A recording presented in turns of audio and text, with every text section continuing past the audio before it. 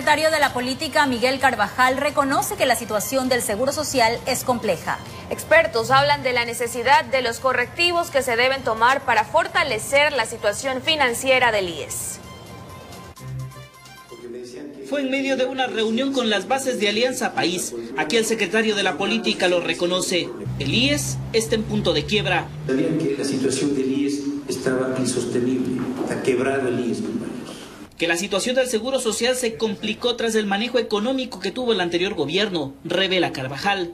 Por eso no se reconoció la deuda, porque se tomó todo el dinero del IES. El Fondo de Pensiones está en una situación tremendamente grave.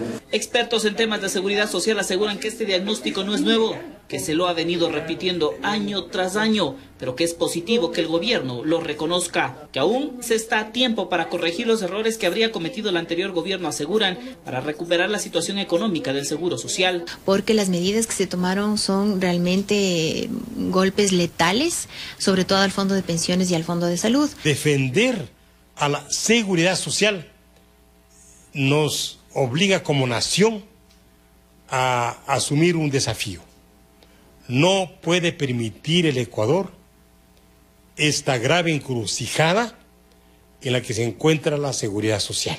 Que la decisión de la Corte Constitucional de ordenar el pago del 40% de las pensiones al gobierno es un paso significativo en este camino. Pero este no es un anuncio, es un mandato.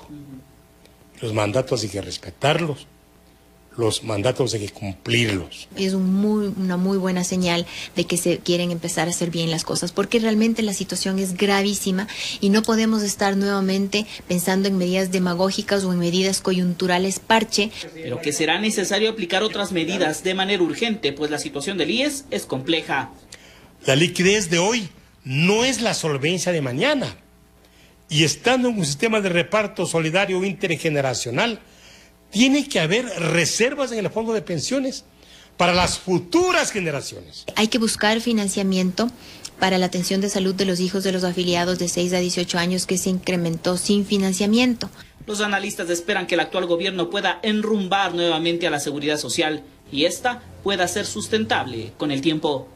Informa Javier